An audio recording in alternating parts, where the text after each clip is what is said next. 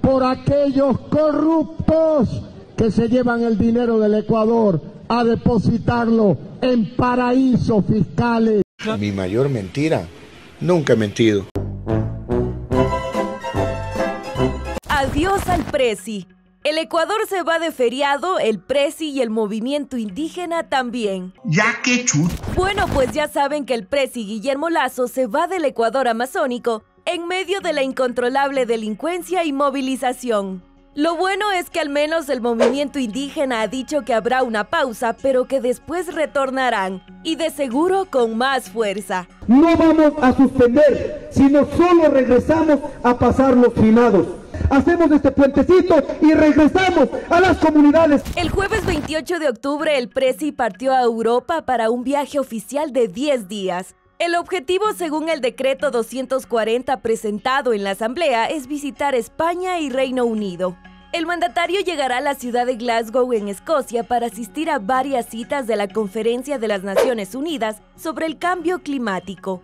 Allí estará hasta el 3 de noviembre en compañía de su esposa María de Lourdes Alcíbar, el ministro de Relaciones Exteriores Mauricio Montalvo, del ministro de Ambiente Gustavo Manrique, además de tres miembros de la seguridad presidencial. Posteriormente, el mandatario viajará a Madrid, España, para atender reuniones oficiales. A estos compromisos se sumarán la ministra de Telecomunicaciones Viviana Maino, el embajador itinerante del Ecuador Juan Carlos Holguín y el ministro de Producción y Comercio Exterior José Luis Prado. En la nómina se precisa que los viáticos y demás gastos que demanden estos desplazamientos se cubrirán con cargo a los presupuestos de las instituciones a las que pertenecen los integrantes de las comitivas.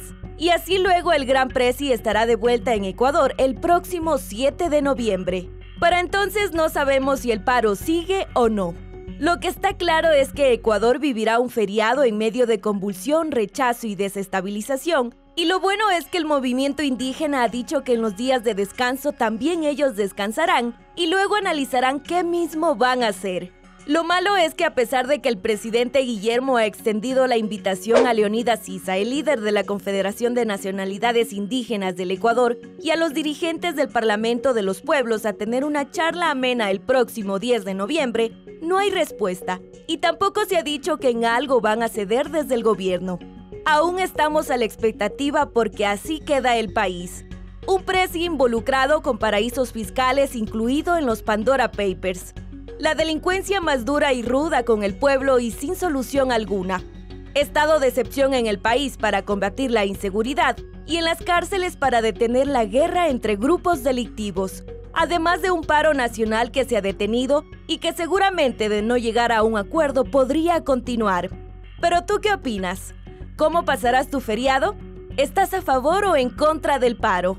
Déjame saber tu opinión en los comentarios y no olvides compartir este video.